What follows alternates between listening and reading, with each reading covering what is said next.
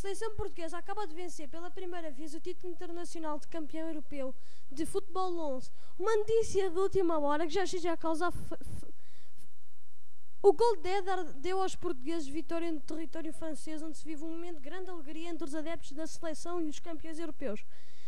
A equipa será recebida amanhã na Almeda, em Lisboa, para celebrar um triunfo com os portugueses. Por agora, continuamos a acompanhar a festa aqui, em dentro, direto de Paris.